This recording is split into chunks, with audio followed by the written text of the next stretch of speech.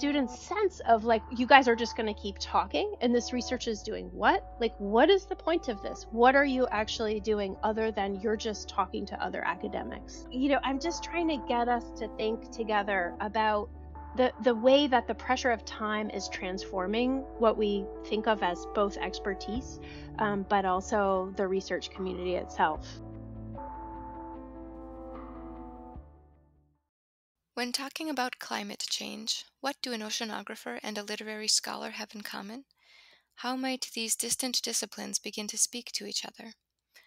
Timescales, Thinking Across Ecological Temporalities, is a volume that includes frictive chit chats from scholars from far flung disciplines and explores what they have to teach each other about the timescales of environmental change. Bethany Wiggin is one of three co editors of this volume, along with Carolyn Fornoff and Patricia Kim.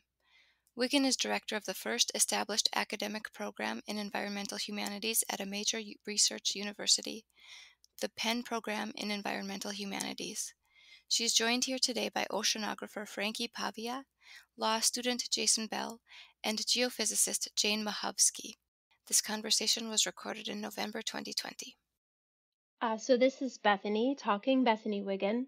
I'm one of three co-editors of the volume Timescales, and I am also the director of the program in environmental humanities, which uh, hosted a conference in 2016, which was the birthplace of this volume. The volume has grown uh, substantially since that conference, um, but it it it does have its roots there.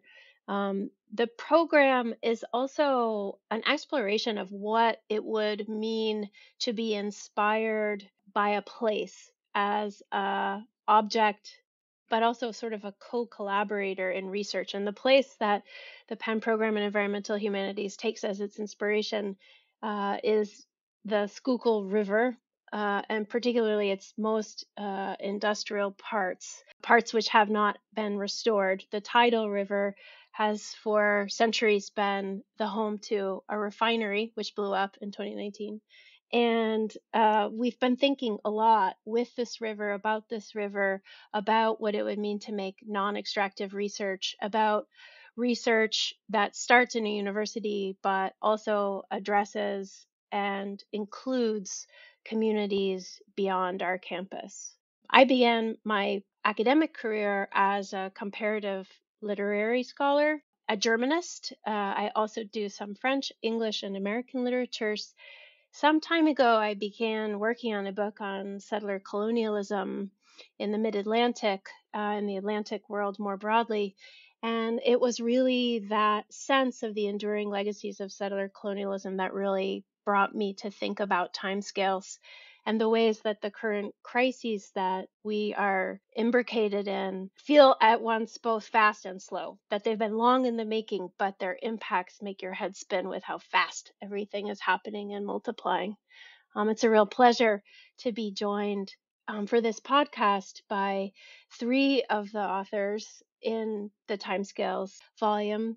Each of them actually are, are duos, part of duos Frankie and Jason are both here with me, and they'll talk more about their work.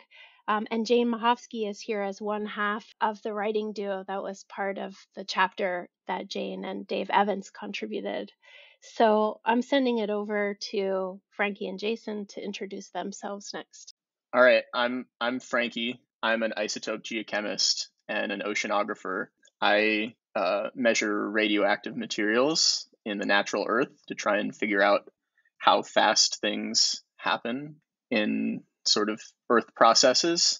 And Jason and I started working together on our chapter, which is about ostensibly uh, bomb radiocarbon and surf punk music, because we were college roommates and we were friends and we were interested in trying to work on something together while we were both PhD students, me in earth science and him in English literature. And so we started talking and iterating and talking and iterating more. And eventually we had come into um, into contact with some people from the Penn program in environmental humanities, and we heard about the timescales conference that they were putting on, and we put together a presentation for the conference, and then afterwards we put together our chapter for the volume, and I think it's been pretty exciting. Uh, I'm Jason Bell. Um, I'm a third year law student now, so almost a lawyer is how I would describe myself vocationally. Um, I got my PhD in English in 2018. I think that Frankie and I started working on this chapter at least as early as 2016, maybe. It really represents one of the many projects that we did together. It kind of grew out of a podcast that we had been trying to create that was a total failure uh, and then never went anywhere. Um, but we did end up with uh, this chapter that includes some fragments from podcast episodes that we recorded. Hi, I'm Jane Dmochowski. I'm trained as a geophysicist and I currently teach at Penn in the Earth and Environmental Science Department.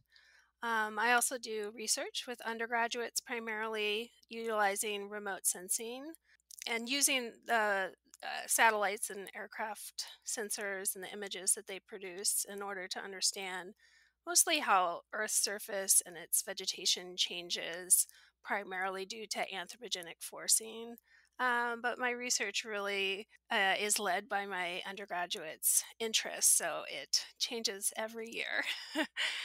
I wrote our chapter, as you mentioned, with Dave Evans, who is faculty at Yale. Dave and I have been friends for years. We were graduate students together at Caltech. Um, he was a few years older, so an excellent mentor to me in my early years there. So when I heard about the Timescales conference and Bethany, I think it was, who mentioned we were looking for other scientists to come and speak. I immediately thought of Dave. Uh, I love to to work with him, and uh, he's a really excellent communicator. I think of science, and also an excellent listener.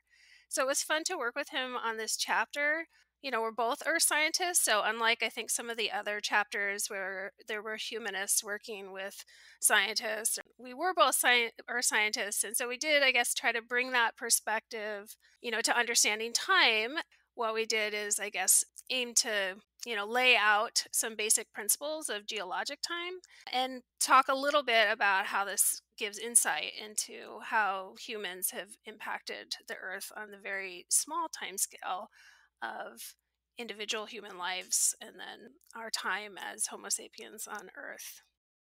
One of the things I really want to talk about are the kind of serendipitous conversations that happened that are at the heart of this book um, in so many ways. Jason and Frankie asked me about how much chit chats informed the editing process that my co editors, Carolyn and Patricia, and I used. Like, can the chit chat actually be thought of as the method behind this book? And I, I think it is. It's really Frankie and Jason's word, though, chit chat, and the types of pessimistic chit chats that you staged so beautifully in your chapter that really made us adopt the term chit chat. We might have called them conversations before, like Jane and Dave had lots of conversations and they were probably sometimes chit chats and sometimes conversations.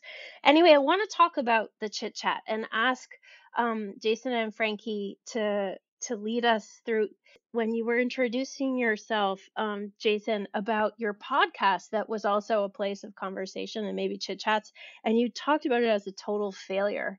Um, and I'm kind of thinking about the ways that chit chats can be total failures, but also successes um, and the ways that outcomes are entirely uncertain, and how that's kind of the point of a chit chat, right? That it's not outcome driven.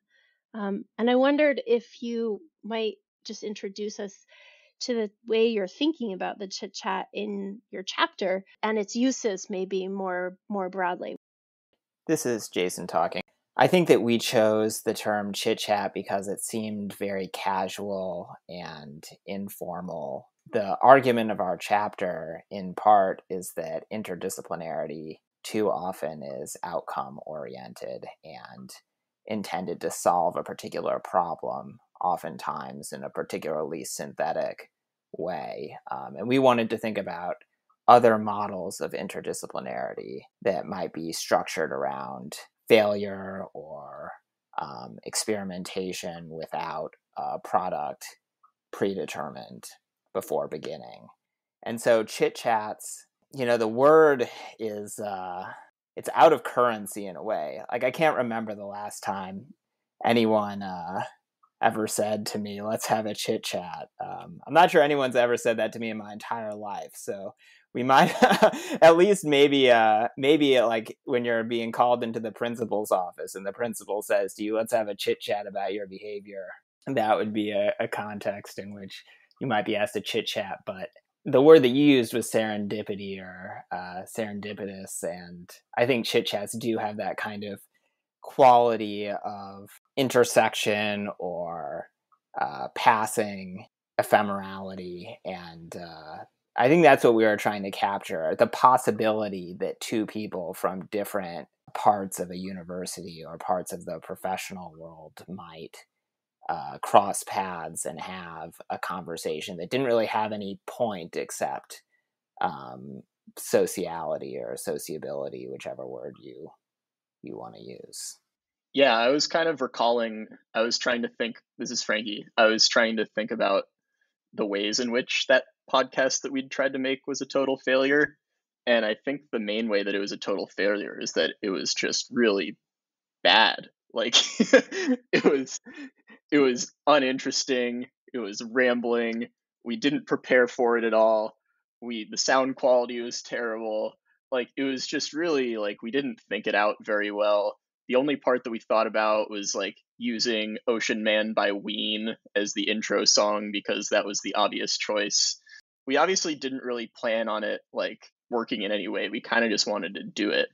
And I find it amusing that we actually ended up finding we ended up sort of mining it for use in this chapter that we wrote, right?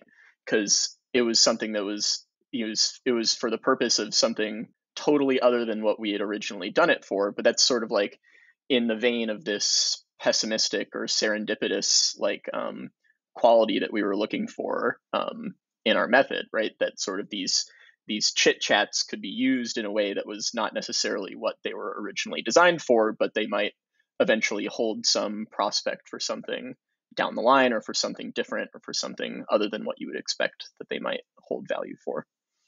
This is Bethany again. Um, Jane, I, I want to ask a specific question to you to, to follow up if you don't mind.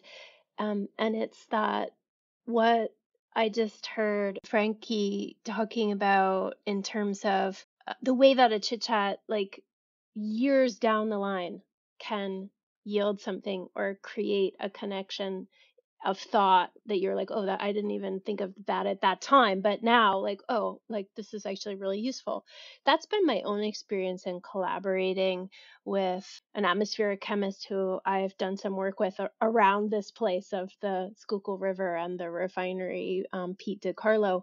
That conversations that we've had while kayaking on the river or whatever later actually lead to fairly substantial investigations that I wouldn't have undertaken had we not had that conversation. But I didn't, you know, they, they bear fruit later. Um, I'm wondering in the conversations that you have with Dave, your disciplinary training is more similar than mine and a chemist or Frankie and Jason's, right? And I'm wondering, like, does the conversation happen in the same way? Um, and also, like, I know you talk with humanists a lot. You talk with me a lot, like and others. Um, and I'm just sort of wondering, like, what's the texture of that conversation? How is it different to have a like a like a conversation with with Dave and and and interdisciplinarily? Does it function differently? Does it feel differently? Does it function in different time, like a, a different temporal horizon? Yeah, those are such great questions. And it is something I just kept coming back to as I read the chapter um, by Frankie and Jason. These conversations and how mine was different with Dave. Um, and at the same time, somewhat similar. So while we went to graduate school together, we did very similar research in the beginning. Our career trajectories have taken us to different places. And um, in those, we won't mention how many years, many years, you know, we've both had different types of conversations. And I have had probably more uh, conversations with humanists, you know, social scientists across the board, uh, just different disciplines. I teach students who are in the humanities, have done research with students who are in the humanities. I was more of having the the playing the role maybe of the humanist, which is not at all my training. And I'll come back to this idea of time. I want to maybe come back to this idea of the added time that we might have to put into our efforts in order to really do these whether it's optimistic or pessimistic interdisciplinary work in order to understand our own disciplines and understand not understand the other discipline but to understand how to have those conversations. You know it wasn't on our minds that we were chit-chatting of course when we were talking about the chatter, chapter but in a large part that is what happened and uh, it was going back you know sort of having a touchstone of our shared discipline of earth science um, it was sort of like go to that and then go to how does this connect with the humanities?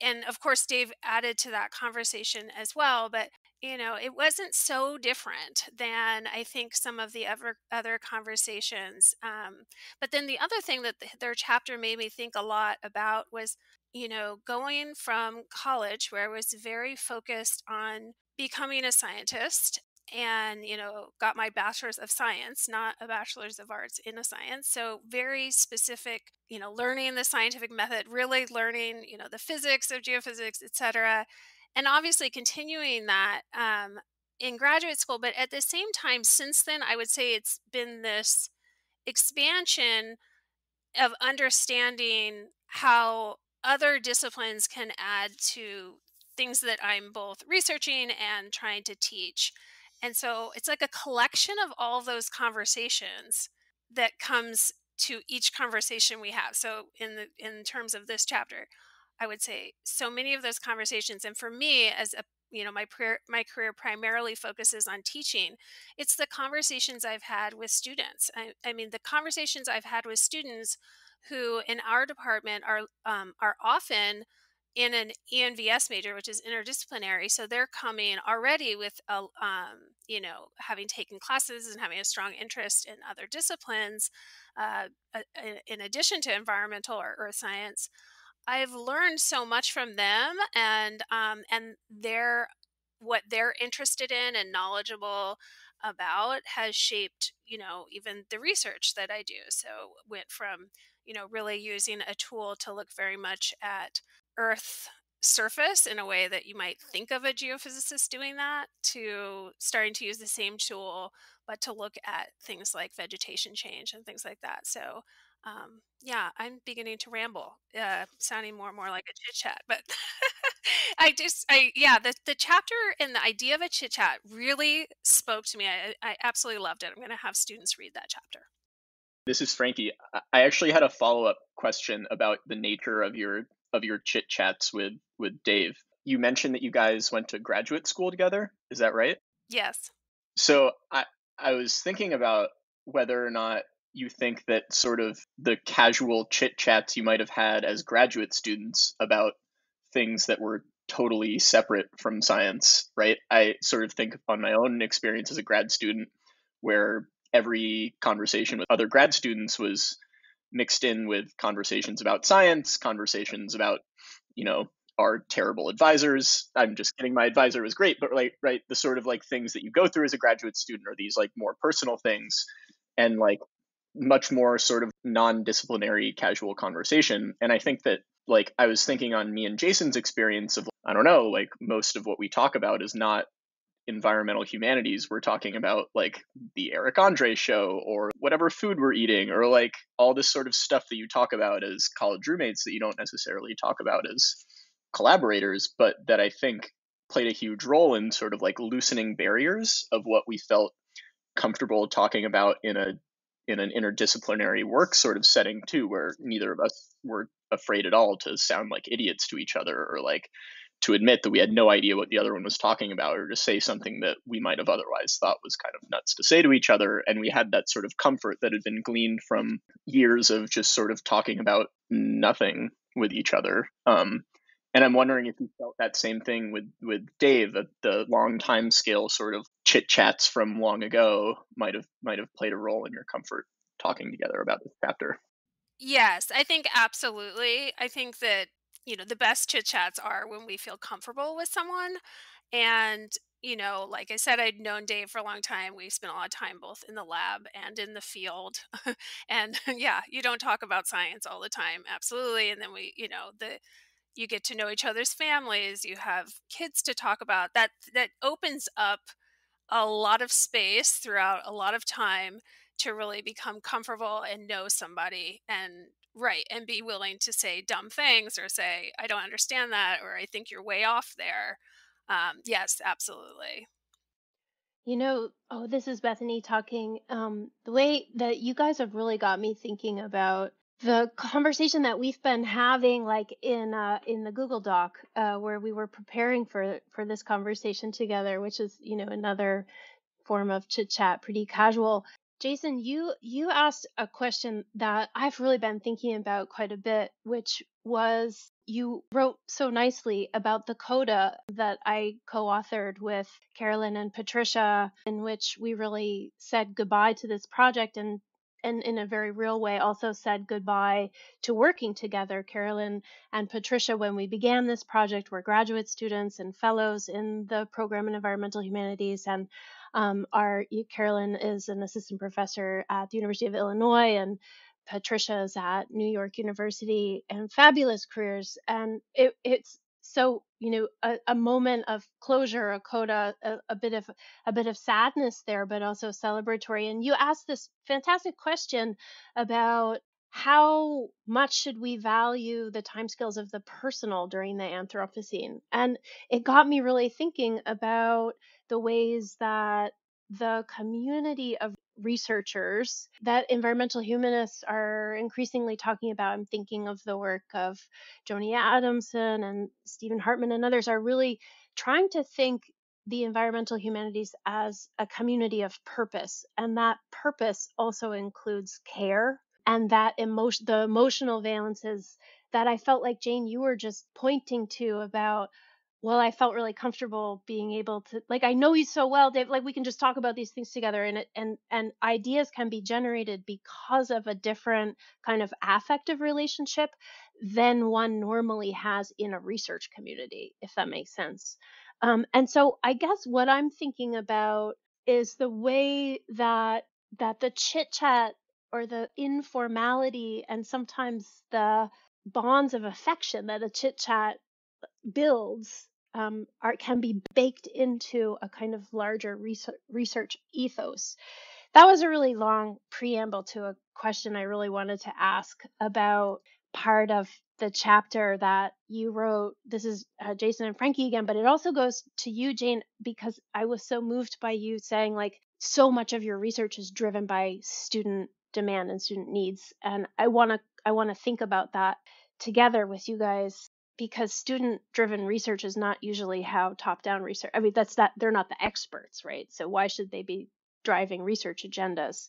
Um, i'm super curious about this fantastic sentence that is in the chapter that jason and frankie that you guys wrote. You talk about the urgency of responding in a meaningful way to the crisis presented by climate change despite the incredible uncertainty about what that change will entail or is entailing. Um, so, what even are you supposed to do to respond? Um, and then you have this, in my mind, like incredibly dryly ironic sentence that says, and yet the principal response to climate change in the academy is a call for new alliances and collaborations between scientists and humanists to produce social transformation and technological solutions.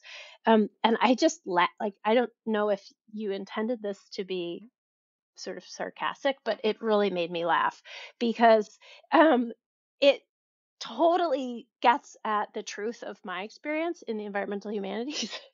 and also at Penn, it's a very much a student driven program.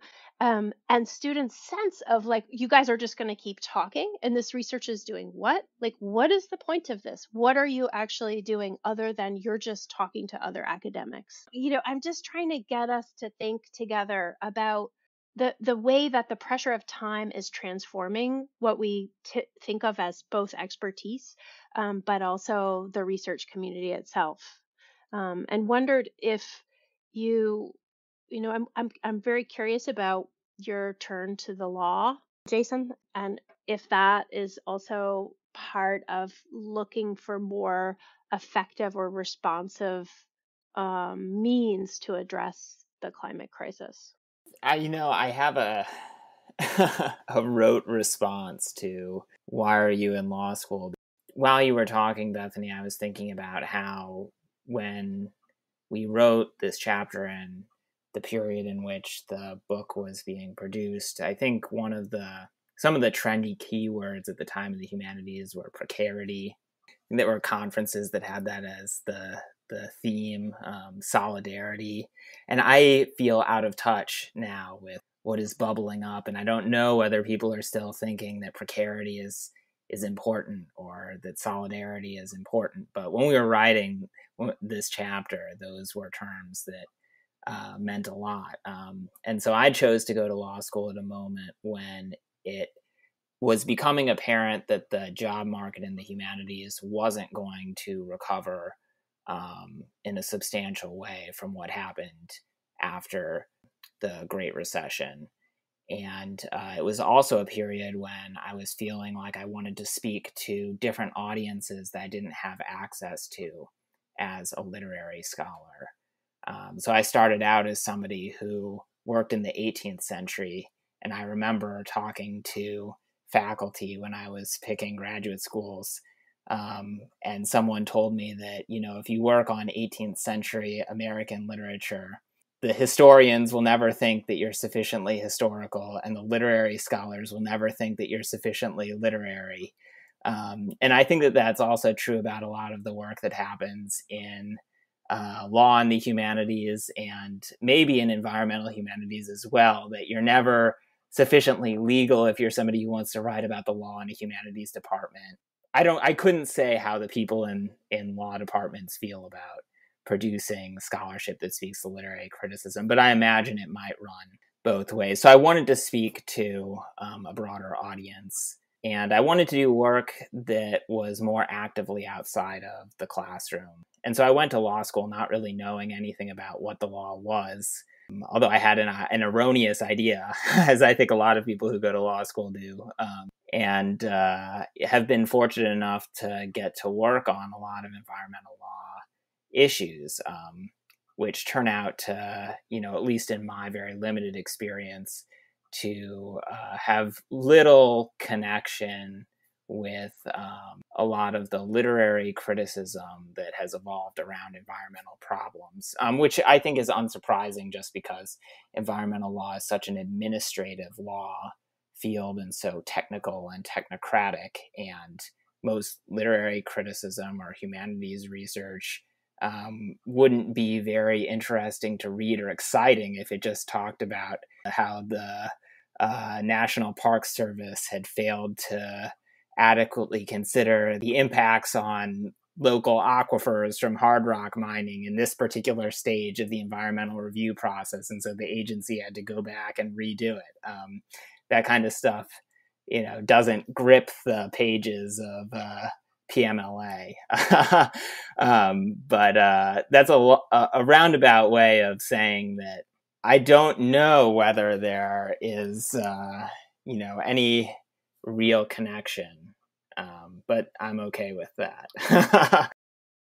it seems to me that what you're also getting at uh, it's the environment as an object of study between literary departments and legal disciplines. It's two different things, and it's like a different thing again for uh, geophysicists uh, and it brings us back to the question of like have all these interdisciplinary conversations where the object of what we're even talking about is not certain and we agree that it's um, unstable uh, in some ways a discursive formation in other ways obviously real bedrock etc and uh, and at the same time our students are like you guys you got to do something and you're just still talking like what the heck? And i i'm i i, I i'm so sympathetic to that and i i suppose my question about the law was actually born of my own envy of lawyers that they have more concrete and actionable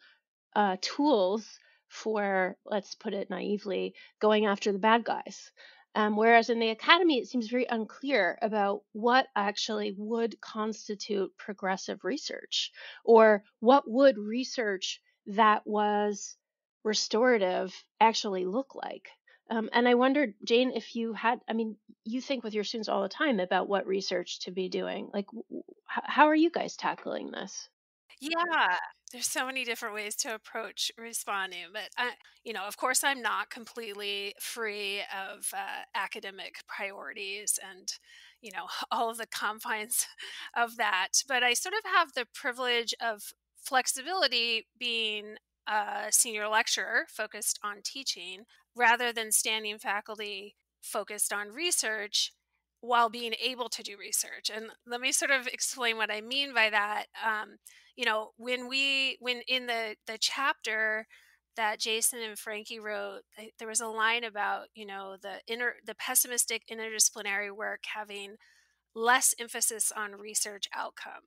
And I would say that I can do that with my student. It's not that we have no emphasis on their research having an outcome, but to me, um, in my job, the focus is really on their learning outcomes. So if their research doesn't lead to what some might say is a conclusion or a, a research outcome, we have still succeeded because they have learned something.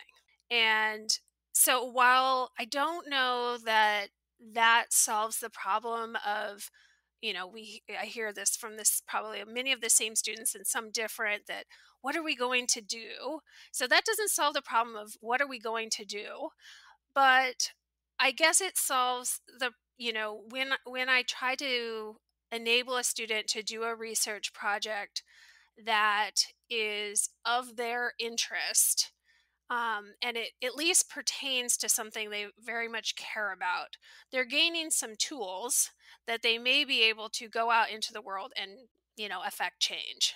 You know i mentioned that my tools are very often using satellite and aircraft imagery so remote sensing to you know and analyze those images um, and it's a lot of you know essentially boils down to writing a computer program.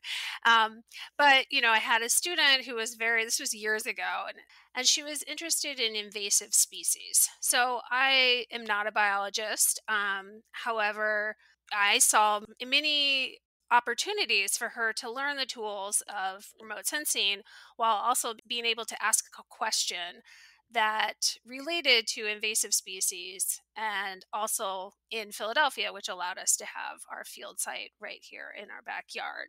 And so while her, you know, while her thesis did not provide us with a research outcome that I could then say go to a, a funding agency and get money to do more research just like it, it did provide an outcome in that she was able to learn something, both, uh, you know, a tool and also learn more about invasive species.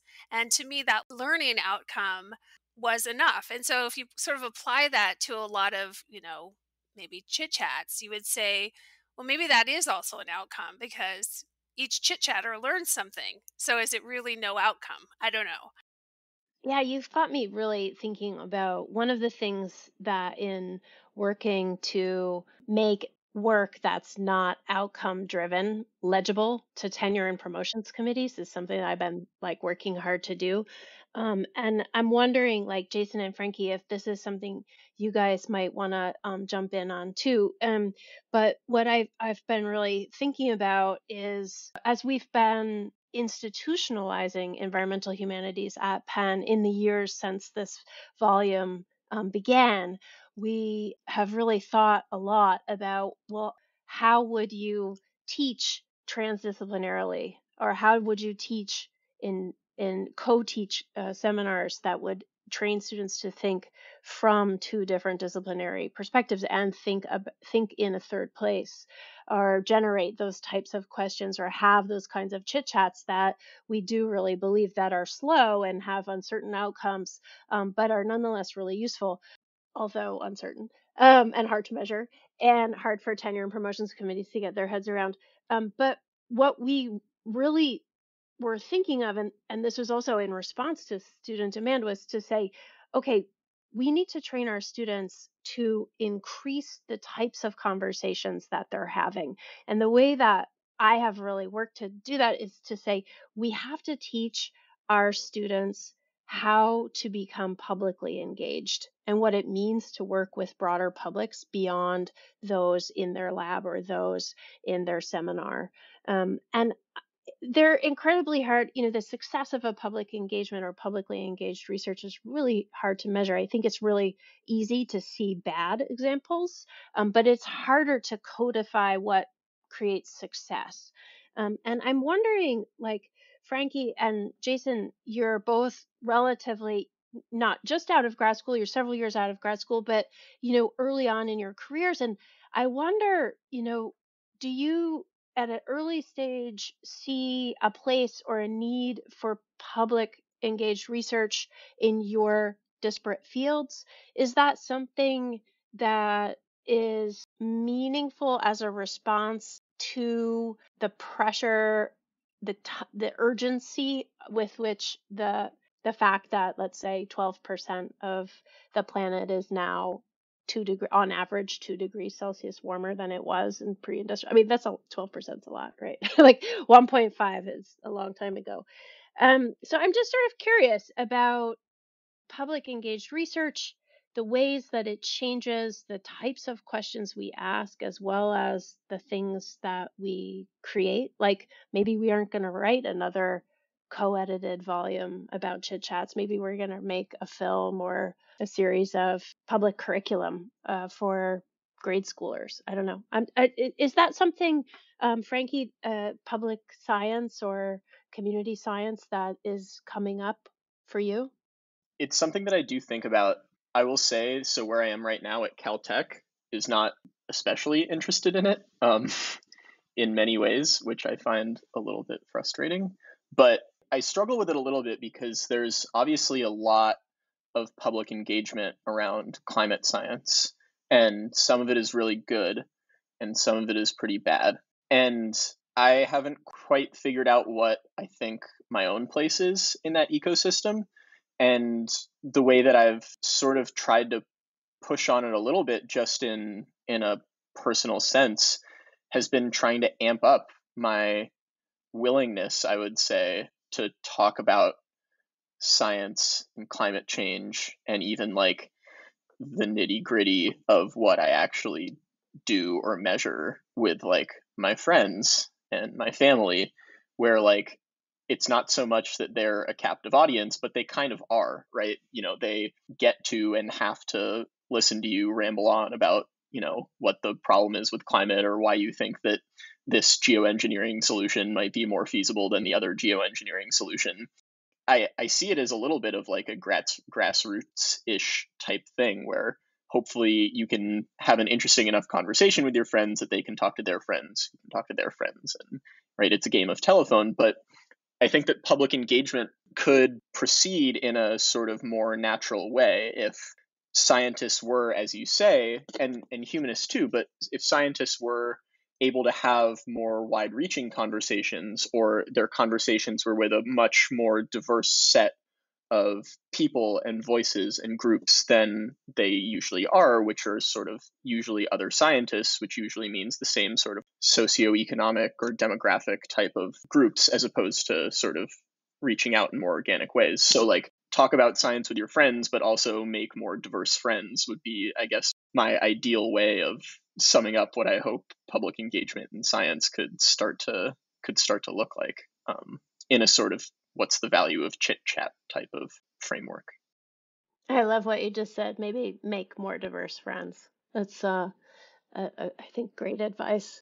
It also okay. So I have this pet peeve that I want to float um, to you guys and just hear what you think about this. Okay, so I love Greta Thunberg, and I think her work has been really important in putting a young face of anger um, to the climate movement or giving it that face. It's problematic on other levels that maybe we should go into, or maybe we won't. She's white, she's from Sweden. Um, there's a kind of question that you know many have asked about why has her voice been amplified when there are many other activists, youth activists, brown and black activists who have been saying similarly uh, effective messages. But my pet peeve is actually different uh, in this case.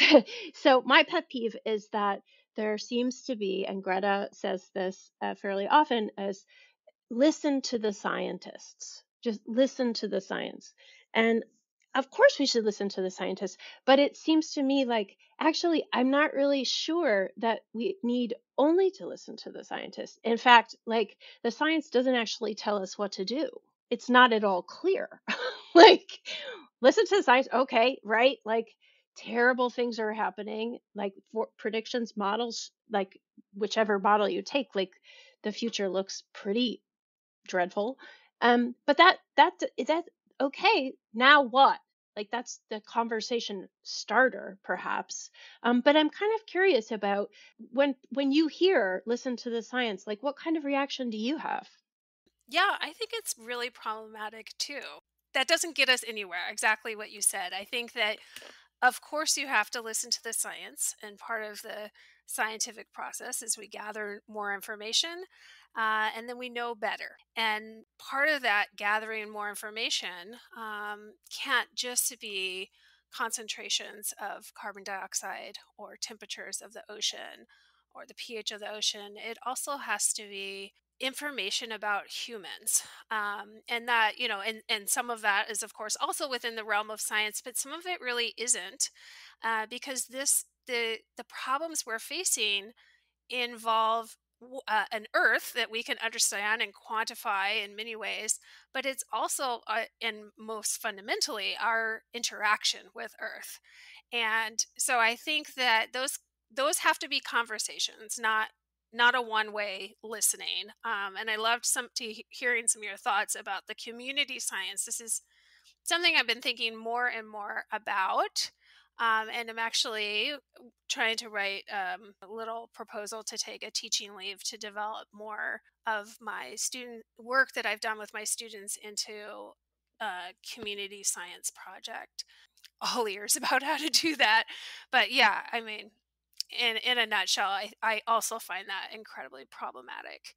Even though that statement, listen to the scientists, is also very important. And I think, you know, she's saying that for a reason, but that's not the end. Yeah, it doesn't exist in a vacuum, right? First, you should listen to what the scientists say about what climate change is, and then you should probably listen to someone else. also, like, listen to the scientists. There's sort of like a a non-trivial history of scientists uh, having problematic moral um, views on things that I think, right, if you sort of applied in bulk, listen to the scientists all the time, you wouldn't end up in a very happy place.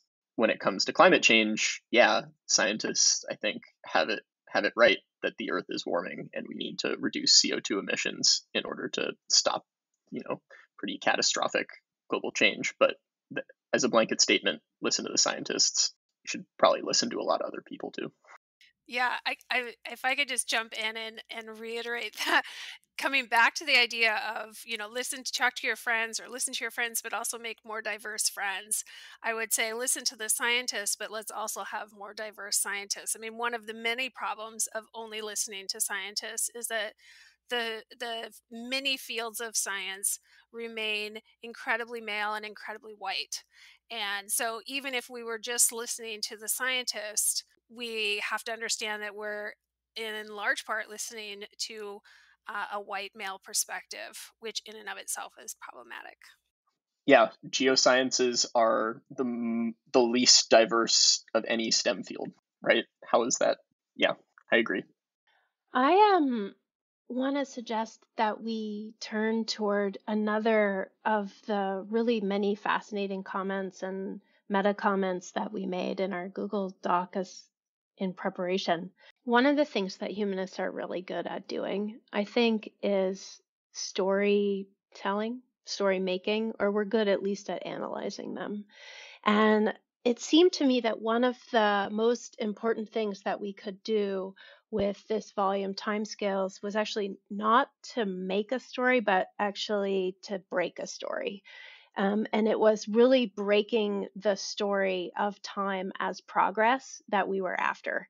in introducing and insisting on the importance of multiple timescales and thinking both at the human time and planetary time thinking also about different rhythms. Musical metaphors run throughout the volume, not just codas, but also etudes.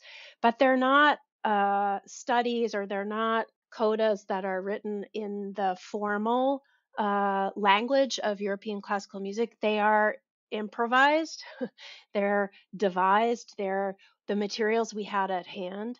Um, and they were our best attempts collectively as a group of, I think there are 30 contributors to the volume, um, of breaking the story of time is progress, or maybe the way that progress has colonized much of the human imagination in the last several hundred years, let's just say, maybe since the Enlightenment, maybe since global capitalism. It's really hard to know. But the reason I wanted to to bring this up is that in our Google Doc there was this great exchange about time feels it's 2020 like what the hell else is 2020 going to throw at us right? And it's coming at us faster and faster and faster. And yet at the same time where we're headed is increasingly uncertain. Even today is uncertain. We're also speaking of course amidst global pandemic amidst a second wave both of case numbers, also closures, and it's really hard to know even what tomorrow is going to bring. So, in this accelerated state of crisis, we also wanted to think about what what does it mean to go slow and can slowness actually in some ways be a restorative or reparative tactic and i wanted to ask you guys you know both like you know obviously in that slowness uh, thinking of the slow food movement, which was so important for philosopher Isabelle Stengers and her formulation of slow science or another science is possible, thinking about literary critic Rob Nixon's phrase slow violence, thinking about these catastrophic things that have long histories, long origins, and multiple origins. Um, but I'm I'm wondering more broadly about is slowness a response that makes sense to you in your own work? I would say yes. Um, and the when you're we're talking, what it made me think about was a conversation that Dave and I had as we wrote our chapter. And we sort of saw the progression of our chapter go through, in some ways, Earth time, describing, as I said, those basic principles of a geologic timescale and how they inform what we know about how Earth has changed in the past. And then you get to this point where many people who have written about this will say, okay, is the next step, you know, on an extreme level to go, okay, we've ruined this earth. Do we go colonize Mars? And when we think of it as like a time as a progression that's always positive, we can fall into that trap. Okay, well, you know, Homo sapiens started in Africa. We you know we went out and throughout the earth's surface and now the next step is obviously into outer space um, i would strongly say pause and pause and and you know and in our chapter right about maybe well not maybe i think it is definitely worth taking that time to understand how we can adapt how we can mitigate before we we go to extremes and that progress isn't always you know the progression of time and moving forward isn't always better. One of the great examples of the nonlinear progress or the movement of time forward doesn't always equate with other things moving forward is um, maybe two essays by the science fiction writer Samuel Delany called Times Square Red, Times Square Blue. One of the the the essays are generally concerned with his relationship as a queer man to the space of Times Square and its different erotic possibilities. Um, but in those essays, he also advances a theory of urban sociology that's very skeptical of urban development and gentrification. He traces the evolution or devolution of Times Square from the 1980s into the into the late 90s. It looks at how the sterilization of the space really killed off a large number of vibrant, important communities. Um, to connect that to what Bethany had been saying earlier, the conversation that you all were having about listen to the scientists, I think maybe more broadly, listening to the experts um, or to a siloed group of experts sometimes does damage in the name of one particular majoritarian perspective that ultimately ends up hurting everyone. And I think coming from a science fiction writer like Samuel Delany, that very nuanced, specific sociological insight is even more powerful. Which is to say that, you know, like when I practice law in like i don't practice law yet because that would be illegal um, but when someday i do practice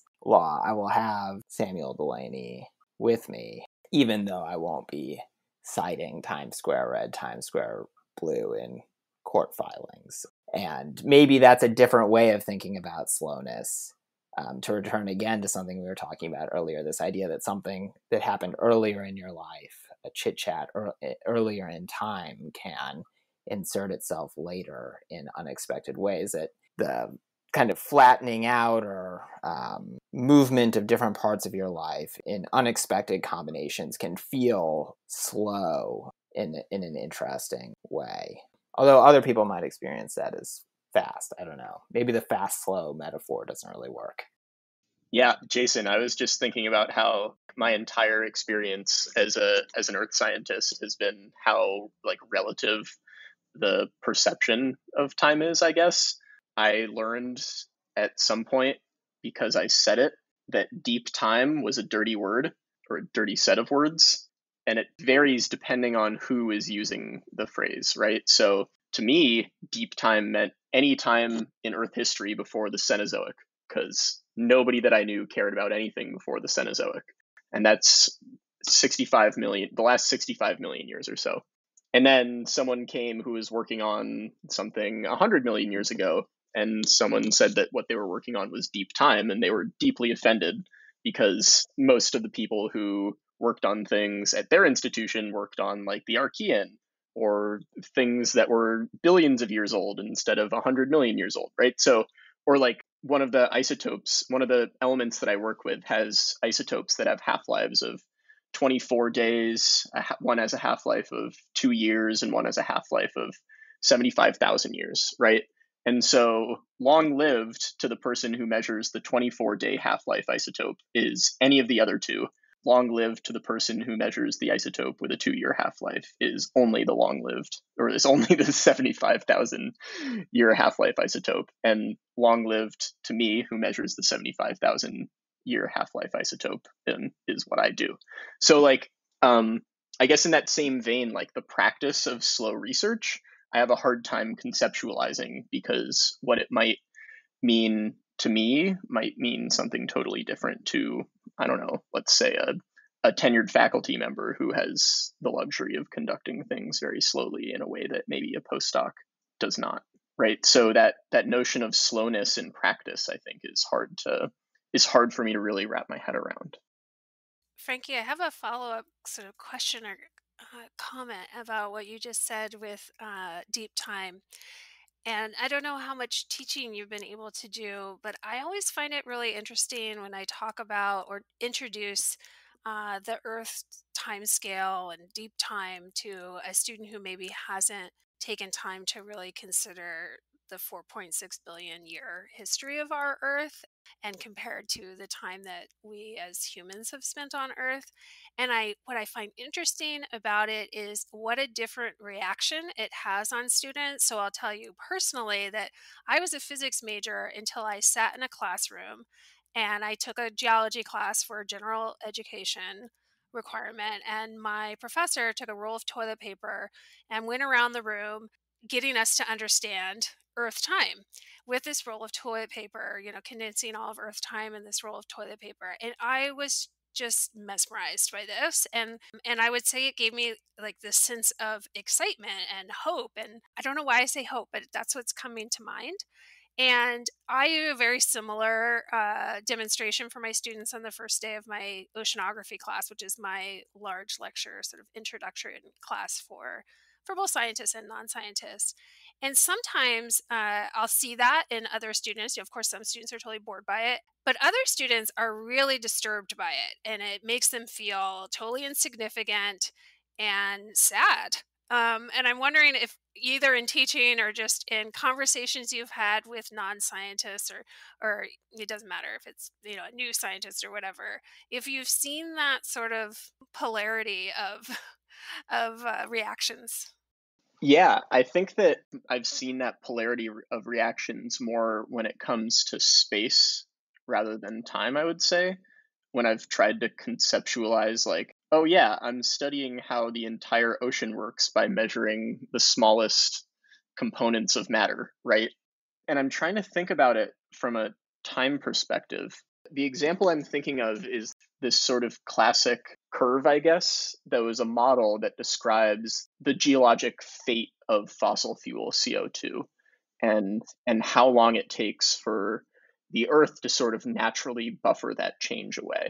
And in response to an extremely sharp input of CO2 on human timescales or even on much longer than human timescales, something like a thousand years, longer than any one human would live, right? The the time it takes for the earth to sort of come back to its previous state which is slightly perturbed from its previous state but something close to it is on the order of 100,000 years.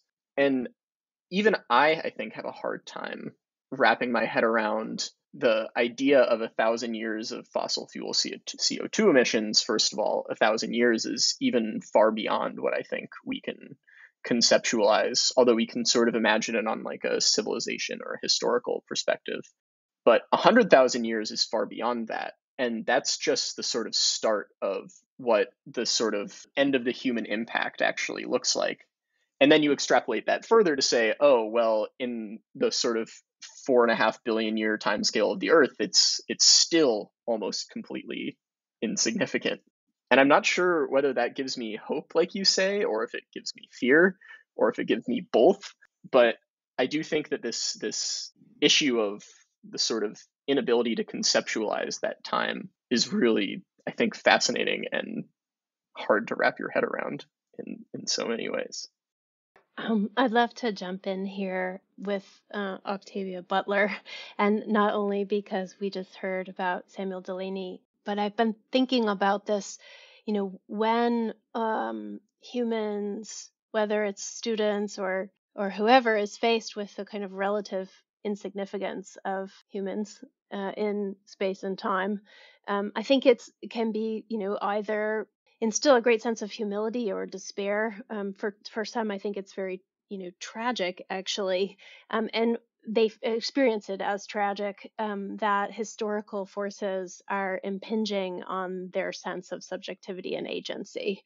And that actually, I think, brings me back to this question that I was having, thinking through about what are the forms of research that are commensurate with this increasing realization that humans are no longer masters of our own destiny. If we ever were, that illusion of progress, etc., has been really shattered, I think. Um, and it's hard to know how to represent that. Uh, time is notoriously difficult to represent, right? Other than in, if you're Einstein. And um, but I think Octavia Butler actually does that really well. And let me just take a second to, to talk about that, I'm thinking specifically about her novel Kindred, in which the heroine of the story, Dana, is uh, with no control of her own, thrown back 150 years to different times and she doesn't know when she doesn't know when she's going to be able to leave that time that she's thrown back into.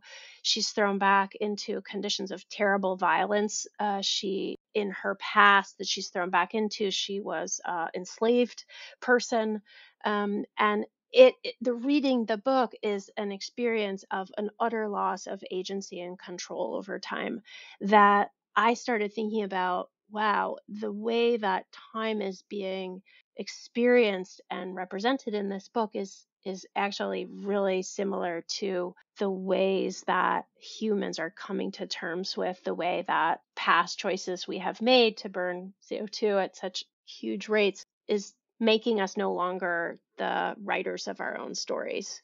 And um, I started thinking about like, well, how could that, how could experimental forms like Butler's be introduced into a scholarly idiom? Like could that even happen? So i i'm writing a book now in which like there's this sort of time tra- it's a scholarly book but there are kind of time travels. It's a it's a, a sort of literary environmental history very much indebted to speculative fiction.